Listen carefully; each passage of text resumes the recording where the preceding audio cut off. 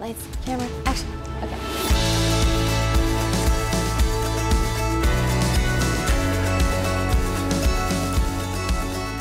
You're watching Medicine TV, where we help you heal from the root cause using food as medicine, and this is part of the whole journey. So today we are talking about how to reduce electromagnetic field exposure to magnetic fields and electric fields to prevent things like chronic fatigue, brain fog, dizzy spells because with modern society, we are around all kinds of electrical and magnetic devices that are having this slowly negative impact on our health. And that goes for everything electrical, whether that is our laptop. I mean, are we ever without our laptop or are we ever without our iPhone? And that goes for anything that is magnetic as well. I'm talking about Wi-Fi and refrigerators and things like hair dryers and things that were really around all the time. And so why do we need to reduce our EMF exposure? Did you know that the World Health Organization classifies magnetic radiation as a class 3 carcinogen? And when we're around EMFs too much, what happens is it affects our pineal gland in the brain. The pineal gland produces melatonin. That is your hormone that not only induces sleep, but it suppresses cancer cells. And we now know there is research and studies, which we've linked to our blog, that if you are around overexposure of EMFs, especially when you're too much on the cell phone, talking on it directly, that this can produce more and more cancer, which we know cancer is running rampant.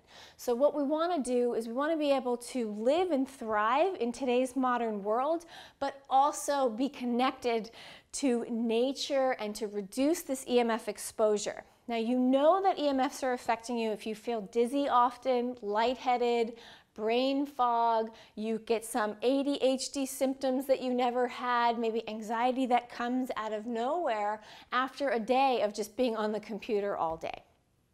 So, what can we do about it? At the whole journey, we are all about action and what are the action items we can do to live a holistic life in our modern world. And so there are so many things you can do.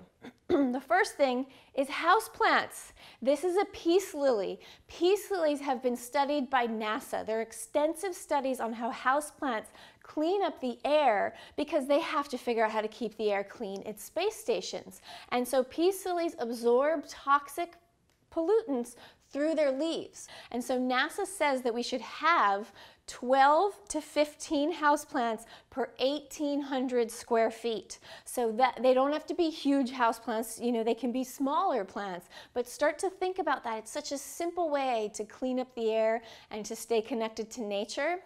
And I have a salt lamp, a Himalayan salt lamp in every room. And so what we're trying to do is we're trying to be around negative ions. That is what works better with our cellular chemistry, and that's what neutralizes these EMFs. So keep a salt lamp by the TV, keep a salt lamp where you're working in your office by the computer. When you're getting ready to go to sleep at night, turn on the salt lamps and try to read by those.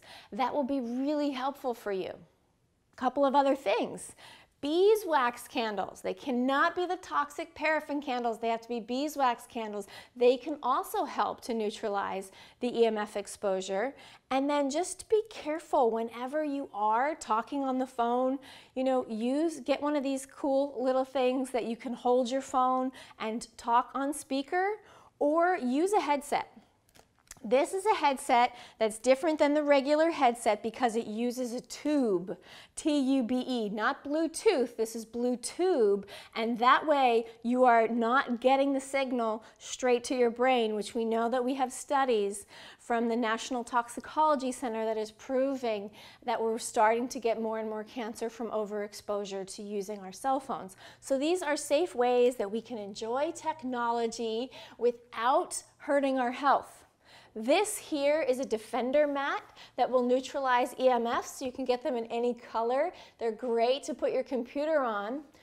And do not put your computer directly on your lap, right? They're called laptops, but we don't want them directly on our lap. Instead, at Amazon or Office Depot, just buy one of these guys. buy one of these guys and put your computer on top of it, and that way you're protecting yourself. And then think about how often you're using other electrical devices. Ladies, are you drying your hair? This is something I didn't think about till I started researching this segment.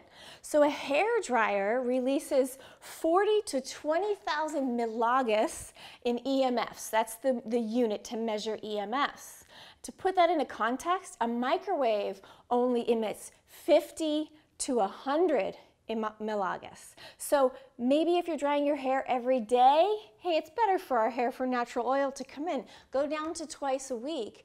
And the simple things that we do where we're not around all of these electrical things will make a big impact on our health. But you know what the biggest is? Guess. It's being out in nature. We are natural beings and we are meant to be in nature. Studies show 15 to 20 minutes a day, wherever you live, find your favorite spot in nature and make it happen. Take your breaks, especially at the end of a long workday. My favorite thing to do is just go walk on the beach. You know, we're lucky in San Diego that we have this year-round temperate climate and there's negative ions in the ocean and the salt air and the water that literally put you back together after a day on the computer. So I hope this helps. I hope it adds value to your life. Very simple tips you can do to lower your EMF exposure and improve your health. Thank you so much for watching and we will see you next time on Food as Medicine TV.